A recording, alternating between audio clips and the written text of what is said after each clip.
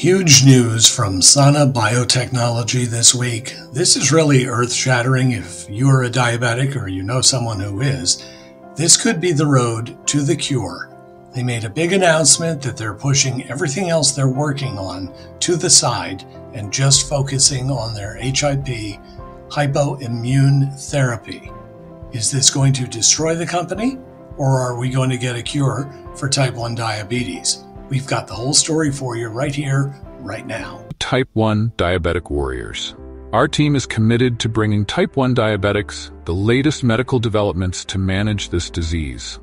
We also cover current medical advancements seeking a cure for T1D.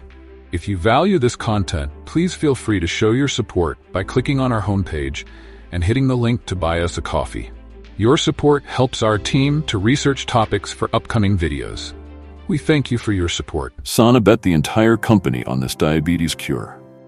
For millions, life with type 1 diabetes is a relentless 24-7 battle. It's a tightrope walk of finger pricks, glucose monitors, and carefully measured insulin shots. It's not about avoiding sugar.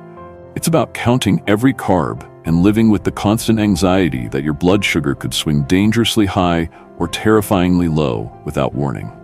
This isn't a lifestyle disease.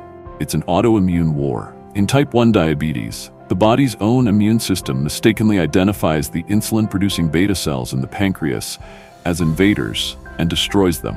Without those cells, the body can't regulate blood sugar on its own. A simple meal becomes a complex medical equation. For decades, the Holy Grail has been replacing these lost cells. Scientists tried transplanting healthy islet cells from donors, which sometimes works.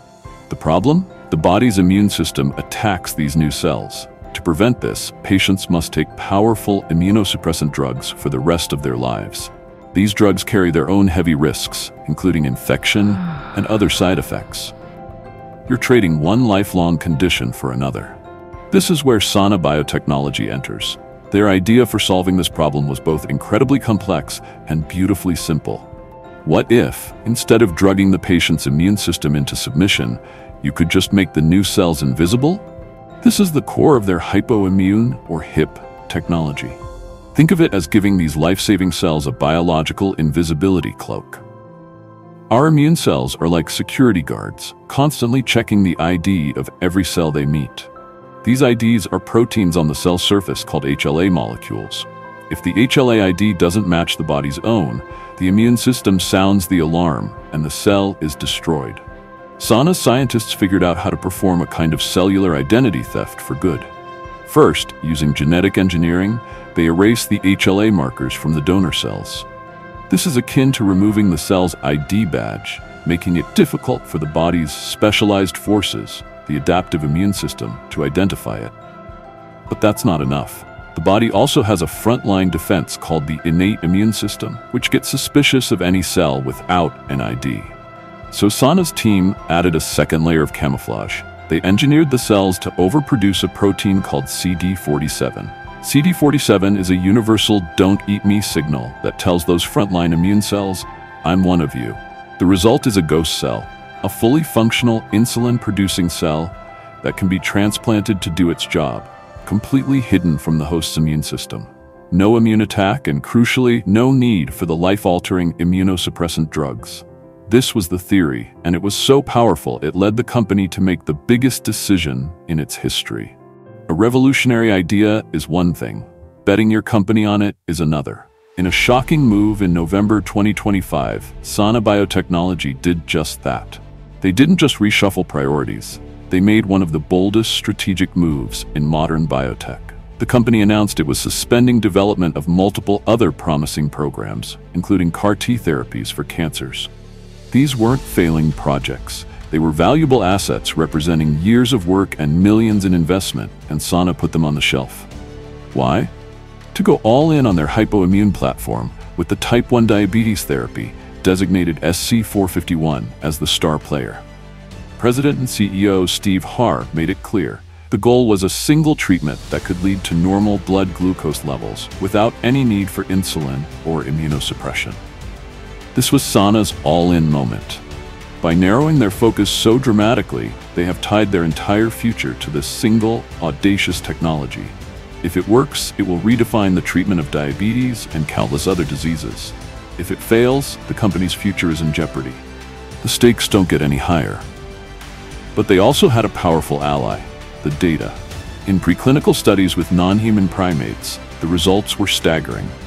They transplanted their engineered hypoimmune islet cells into diabetic subjects without any immunosuppression. For six months, the cells survived. They produced insulin in response to glucose. And crucially, the immune systems left them alone. The invisibility cloak was working. These studies, showing the cells could survive and control blood glucose for at least six months, gave Sana the confidence to push forward. This incredible scientific drama is unfolding right now.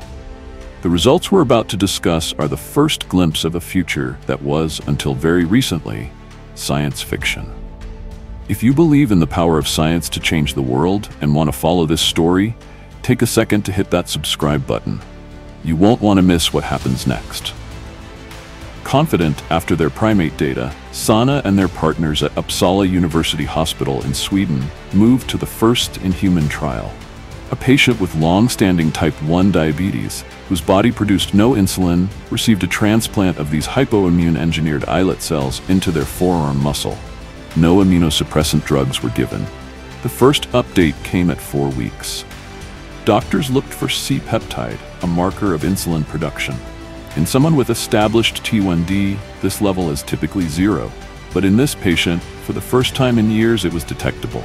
The cells were alive and working. That alone was a landmark achievement. At 12 weeks, the results held.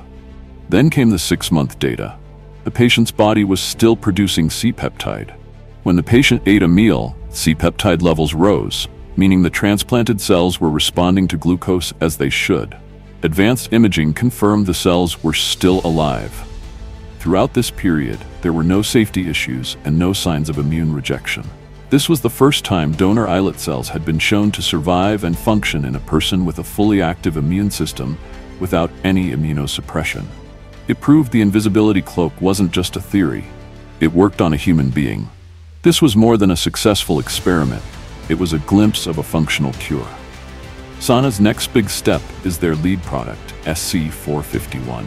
This version uses the same hypoimmune engineering, but with islet cells grown from stem cells. This is a game changer because it provides a scalable, unlimited supply, unlike donor cells, which are scarce. The company is preparing to file an investigational new drug application to start larger phase 1 trials, potentially next year. These trials will involve more patients and aim for a dose big enough to achieve the ultimate goal, insulin independence.